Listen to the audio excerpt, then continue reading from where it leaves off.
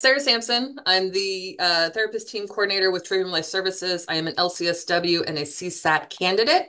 Uh, I've been in the field for just about 10 years, working primarily with addiction and trauma. My background's working with the Ada County Veterans Treatment Court program, and now I am the administrator for our mental health court treatment program. So happy to be here. Let's pull up these slides.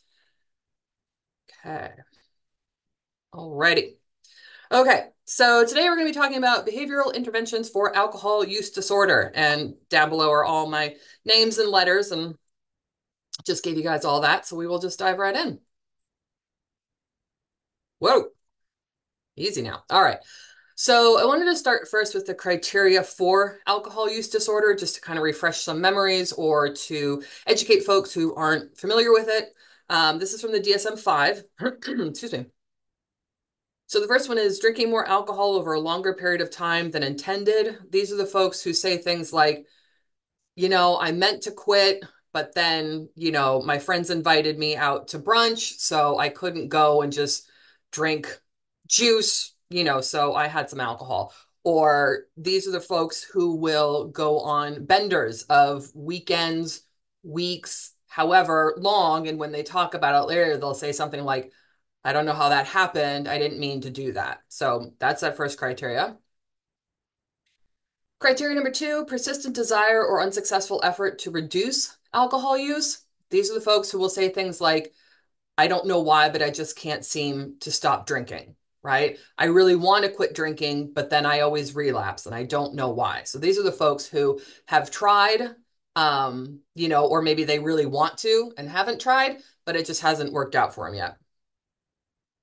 Uh, number three, great time, I'm sorry, great deal of time spent obtaining, drinking, or recovering from alcohol use.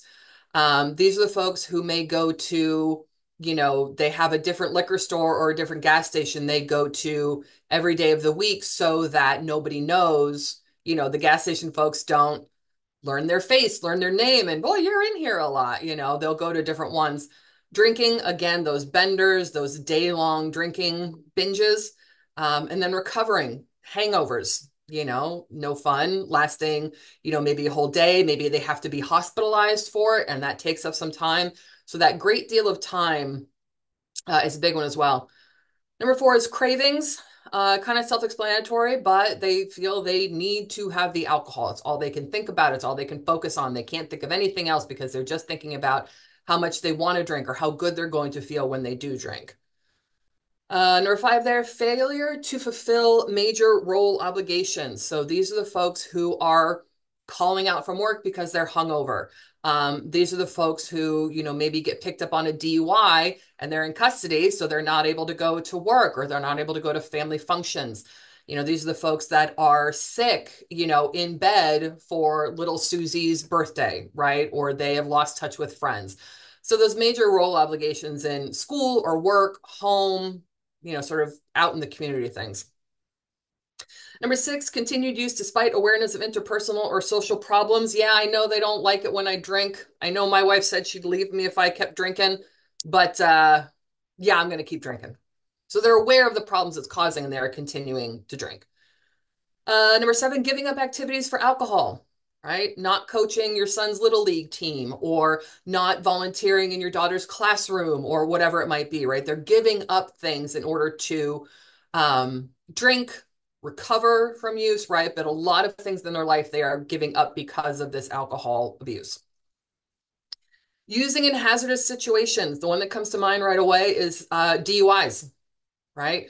They have been drinking. Sometimes they are still drinking when they are driving. You'll see it all the time on the arrest log, you know, in possession of open container. Um, or, you know, they are drinking on the job and maybe they work in construction and they're dealing with very sharp things or very large, heavy things and they're drunk on the job. So using in hazardous situations is a big one as well.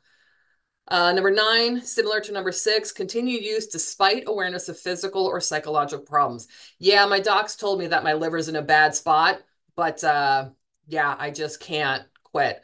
I know that when I'm hungover, I get really depressed and I can't leave the house for the whole day and I just feel like a piece of trash and I'm full of shame. But there's that continued use anyway. So they're aware of these problems, and then there's the continued use on top of it.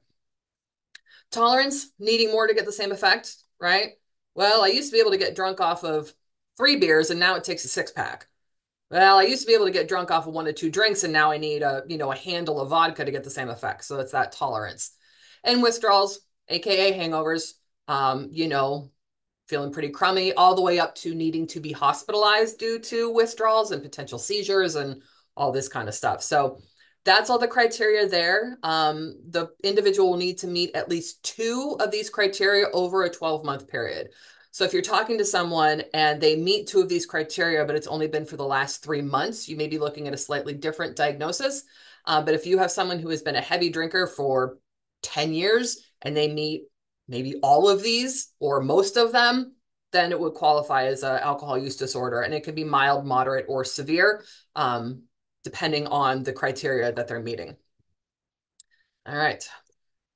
Individual counseling is one of the uh, interventions we can use. So individual counseling can be really beneficial to process any issues that may be brought up during a group if they're also in a group setting, right? Depending on the size of the group or maybe the the topic of the group, there may not be the time or the appropriate setting to process through any issues that may be brought up in that group. They can meet with their individual counselor and say, "Oh yeah, we were going over, you know, triggers and I realized that I get really triggered by this, that, and the other, and kind of process it with that individual counselor." Uh, could be a good fit for those not comfortable in groups. I've had plenty of clients in the past who say things like, I don't feel comfortable in groups for one reason or another. I don't like talking in front of people. I don't know these people. Why am I going to tell all my dirty secrets in front of them if I don't know them? Um, so it could be a good fit for those not comfortable or for those whose schedule just doesn't allow, you know, maybe a two hour group or a three hour group. Uh, common issues discussed in individual, individual sessions, along with the addiction issues, of course, are things like trauma, um, adjustment issues and relationships, adjusting to new jobs, adjusting to divorces, loss of marriages, loss of relationships, interpersonal issues, right? You know, my wife's real mad at me because I've been drinking and she says I have to come here or she's going to leave me, right? Or, you know, my boss thinks I'm a piece of trash because I've been calling out and he knows that I'm drinking and I need to work on rebuilding that relationship.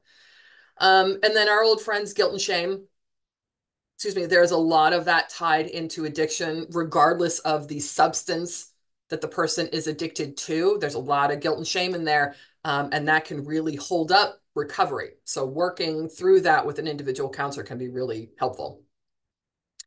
Uh, each therapist out there will have a modality that they use. Um, I'm an Adlerian therapist. Uh, there are plenty others, right? Um, so a lot of individual therapists will have a modality that they tend to fall back on. That's sort of how they um, work through sessions with the client and how they, you know, decide to treat people. Uh, cognitive behavioral therapy is a commonly used and successful modality for those that may not have a modality that they really like or feel comfortable with.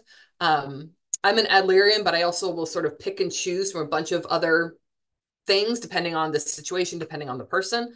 Uh, CBT is tried and true. Uh, we use it here uh, in a lot of our individual sessions and in a lot of our groups. Um, so it's successful, been proven successful, um, and really common. Individual counseling can also do the important work of addressing the issues that led to the alcohol abuse and the alcohol use disorder.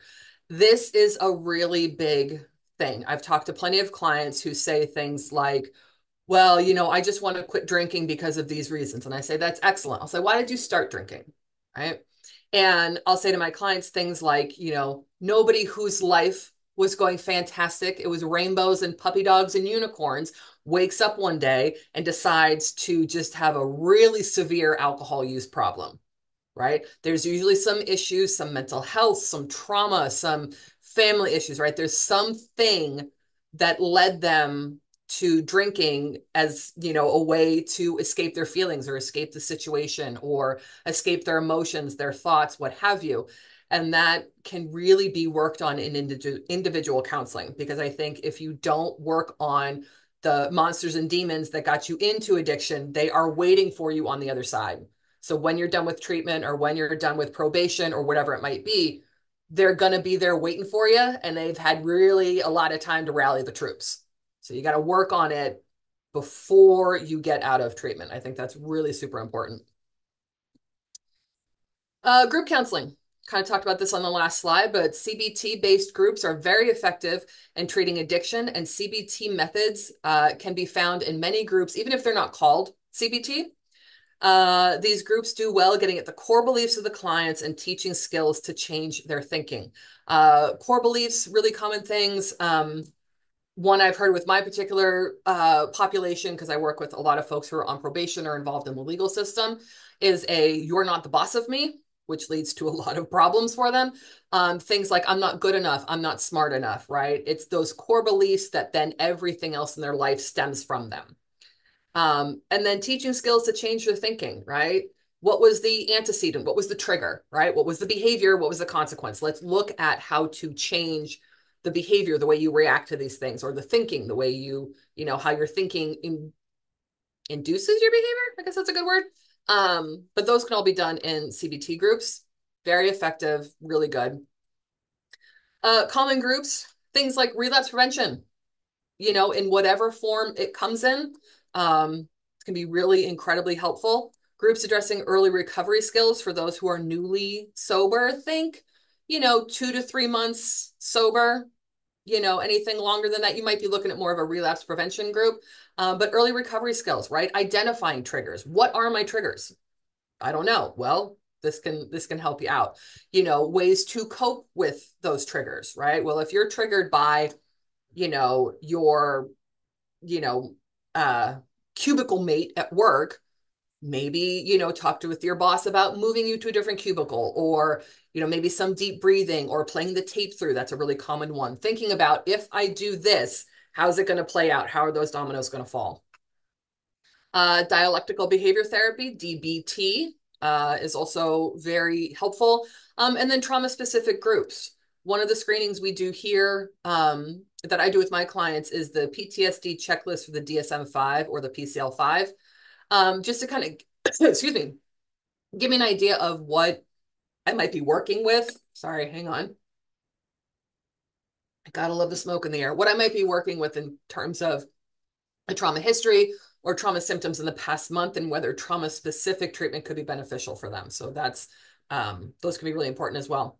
And group counseling can be beneficial for clients in introducing them to a community who have been through similar things and can offer support and perspective.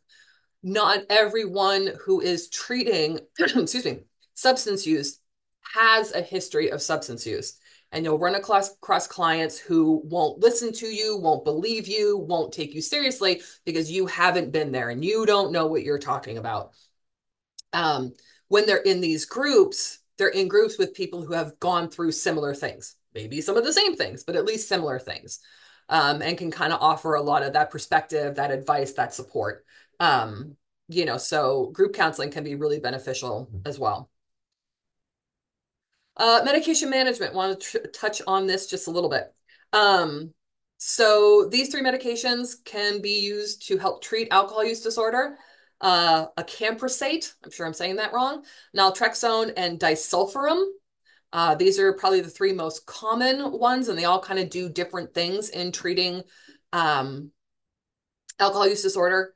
These can help those in recovery with maintaining sobriety, right? Clients can be referred to their primary care provider to discuss these medications uh, and which might work best for them. The, the PCP can go over these different meds and this one does that and this one does this and this one you take this often and this one you take that often, but it can really help to reinforce what they're learning in treatment, right? If they're not constantly bombarded with cravings or, you know, urges to use, it can help kind of give them that space to start putting a lot of the skills that they're learning into action. So uh, can be very helpful.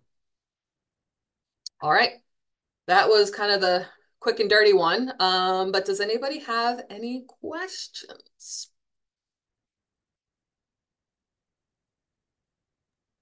Thank you, Sarah. Um, you can go ahead and stop your share. Perfect. And then we'll come back together um, for our audience members. You can either just come off of mute to ask your questions. You can put your questions into the chat. You can use the raise hand feature, whichever you prefer.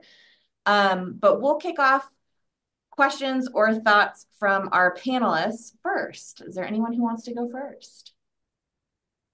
I, I want to jump in. I really like Sarah how you um, talked about the medications um, because the way that you you mentioned it as a therapist is, hey, there's these meds that can help, and you can refer your patients to primary care.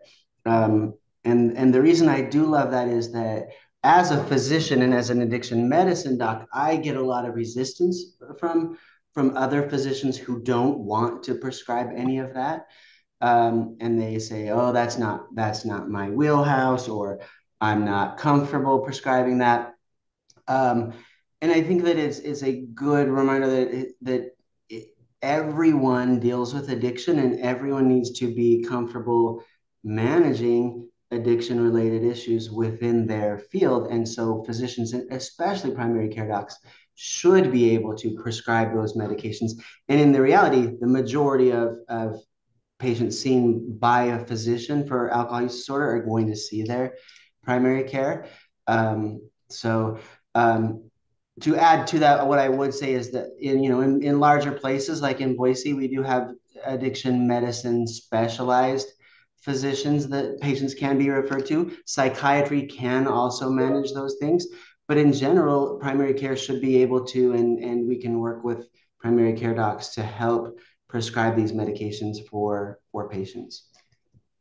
Yeah, I think I'll just add that um, you know, just in general, um, medications for alcohol use disorder are are underprescribed, um, in my opinion, and a, lot, and a lot of other people's opinions.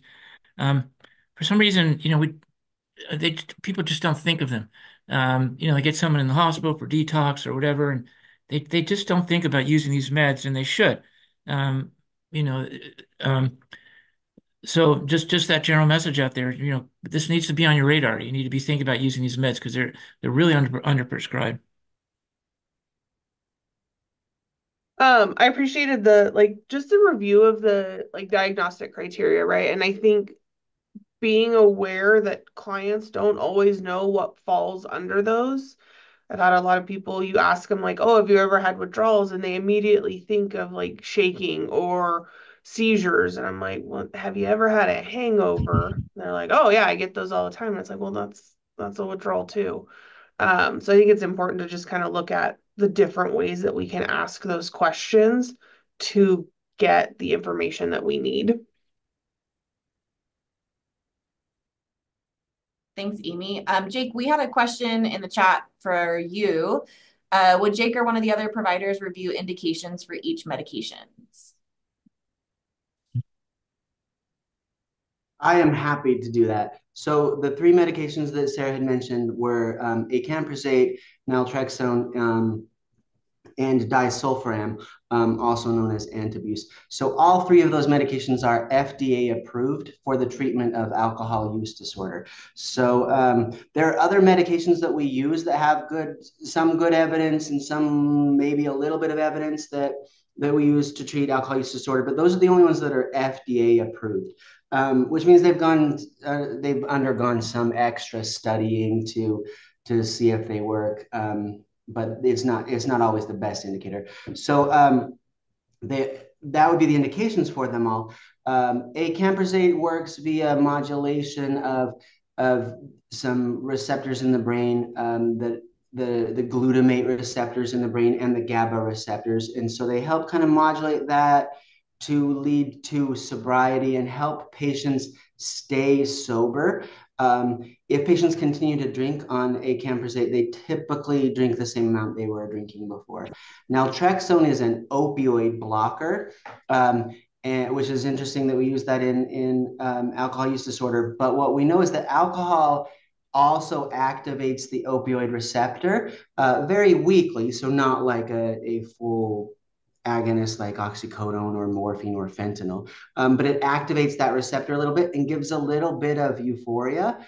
Um, and if you can block that effect with the naltrexone, then the, it helps reduce the cravings and the euphoria that comes from the alcohol. It doesn't keep them from getting drunk. It doesn't make them feel sick when they drink. It just helps keep them from getting that euphoria, and that helps them reduce their drinking. So naltrexone can be effective for both um, abstinence. It helps patients stay abstinent, But in particular, it can help patients who are binge drinkers to drink a little bit less. So often patients on naltrexone, they'll drink, um, they won't even notice it. They'll keep drinking, and then they look back and they're like, oh, you know, instead of drinking six beers, I only drank three. Um, so it can be effective for that. Antabuse or disulfiram blocks alcohol, one of the metabolites of alcohol, from getting out of the system. And that metabolite causes really bad reactions that make them get really sick. So antabuse is um, a medication that they cannot drink at all on or they will get sick. Most patients who are prescribed antabuse generally stop taking it um, if they want to drink, so it's not as helpful. Um, and it can be dangerous to for patients to drink while on it. So, so that medication is reserved for very specific cases. Um, often we think oh, it, this is like the most severe case, so we should maybe use antabuse. And it's kind of the opposite. I use the antabuse in cases where they're actually doing pretty well and just need a little extra help to keep themselves from drinking. So by starting the, the antabuse or disulfiram, um, they'll be able to stay um, abstinent. I think I'll just add that, um, you know, like trying to figure out which med to use. Actually, the, the best evidence is for L naltrexone. Uh, that, that's what we have the best evidence for. And then the other one, just just to keep in mind, is is, is gabapentin because gabapentin can actually help, you know, with with some withdrawal, um, and then you can continue it um, for abstinence. So it you know kind of has two purposes there. Um, so it's good to be familiar with gabapentin and how we dose that and how we help people with some forms of withdrawal with that. Thanks, Jake. Thanks, Todd. Um, questions from any of our fellows, Brian, Tim, or Jacob?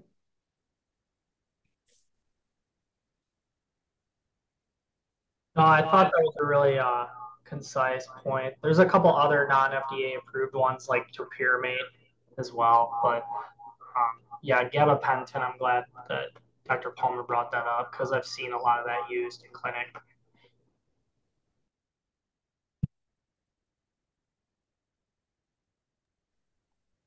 Yeah, I don't have any other comments other than uh, excellent presentation so far. Thank you. Um, Eli or Cheryl, I'll turn it over if either of you have anything. Not right now, no, actually. I don't, thank you. And any last comments? Oh, there we go. We have one from Teresa. Um, can you speak to the impact of ETOH used in geriatric patients and interventions for that population? Todd, this might be a you question here. Yeah, I mean, alcohol use in the elderly can be tricky because um, if you um, if you mix it with dementia, which is, you know, as you know, is not uncommon in the elderly, um, they lose track of what they've drank. They they forgot they've already they've already drank because you know because first thing to go in Alzheimer's, which is you know, 60 to 80% of um, of dementia is Alzheimer's, and and the first thing to go there is short-term memory, right? So they might have had a drink or two and they don't even remember it. Um, but uh, alcohol is is um, is definitely a, a, a, problem in the elderly, and also um, the elderly don't they don't handle alcohol as well. Um, I mean, there there used to be this recommendation that you know, women could have seven drinks a week. That considered that was somewhat safe, and men could have 14. Um, and then they'd say, you know, when the men turn 65, it's that they're the same as the women. It's seven. So um, you see that some places and you don't others. But uh, the bottom line is it should be seven for for elderly men for sure, and that the elderly just you know it, just with all drugs and all substances, you know, they they they don't tolerate them as well. You know, with meds we say go low, start low, and go slow. So it's it um, even a small amount of alcohol can be it can be an issue. And then we also have the issue of falls. We have the issue of yeah. comorbid conditions, and um, you know it, it just it, it really complicates things. So alcohol doesn't doesn't do it doesn't go well with aging. Um, yeah. Is there anything to think about in terms of polypharmacy adding any of these medications? Is that something that physicians think about? Well, I mean, we we always think about polypharmacy in the elderly, right? Because it's just such a common occurrence, and a lot of what I do as a geriatrician is deprescribing. You know, we always look to deprescribe. Um, so yeah, you want to look at you know the meds they're on because you know they can be on some crazy regimens and you know see if there's interactions and um, so yeah, it's really important because you know look look at alcohol, pull up the meds, see what their relation you know what what what cautions and contraindications are with alcohol. That's that's very important. Thanks for bringing that up. I just want to give a uh, additional plug for AA, Alcoholics Anonymous, that uh, it's not for everybody, but for a significant segment, it's found to be extremely helpful.